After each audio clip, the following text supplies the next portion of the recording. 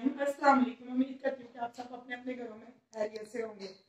मैं आई हूँ अपने भांजे की डोल में उधर आई हूँ तो मेरी भतीजियों ने ये देखे क्या बनाई है चीज़ें।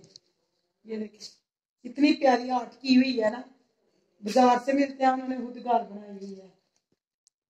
ये देखे, कितने प्यारे। सारी कजनों के और अपने उन्होंने बोला कि बाज़ार से भी तो लेके आने हैं तो घर में बना लेते हैं। तो खुद भी उन्होंने अच्छे तरीके के साथ आर्ट की है, और घर सब के लिए बना, कजनों के लिए भी बना ली है, और बहनों के लिए, और ये मेरे लिए हाला के लिए बनाया ये मेरे लिए बनाया तो डोलकी पे इतना किसी दिन आपको भी डोलकी का थोड़ा सा पार्ट अभी मैं घर आ गई हूँ। तो ये मैंने शॉपिंग जो उधर से की थी। ये बड़े बेटे की पैंट ली है। ये देखिए, कलर मुझे अच्छा लगा था स्टाइल भी अच्छा बना हुआ है। मैंने कहा, सर्दी है तो साथ मैंने ये ये छोटे बेटे की है। इसलिए बड़े का और छोटे का एक ही माप है। माशाल्लाह वो एक जैसे ही है। तो ये इनकी पैंटें नहीं है। लड़कों की इतनी वरायटी नहीं होती, लड़कियों की ज़्यादा। ये एक बेटे की ये शर्ट हुड वाली शर्टें नहीं है।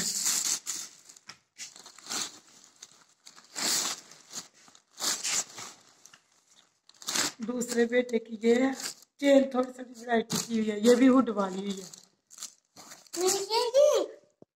नहीं अहमद की है। ये एक बेटे की है।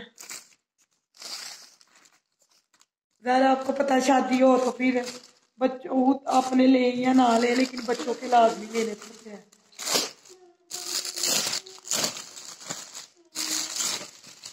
अभी ये छोटे बेटे की दाइन की पैंट है।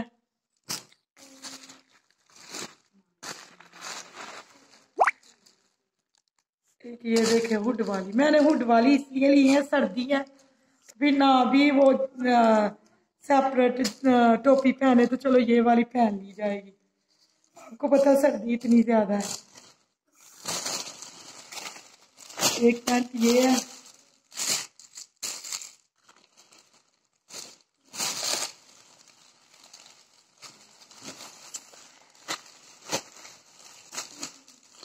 साथ ये मेरे भाई ने मेरे भांजे के हाथ अपनी बेटियों के लिए ये चीज़ें भेजी थी चॉकलेट चिक में पिस्ते बादाम, काजू। तो फिर उन्होंने मेरे बच्चों के लिए भी ये दी है निकाल के कि उनको जाके देना।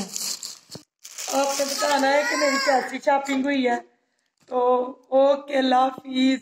दुआओं में याद रखना मेरे चैनल को लाइक किया करें शेयर किया करें। कमेंट दिया करें सब्सक्राइब करना ना भूलिए।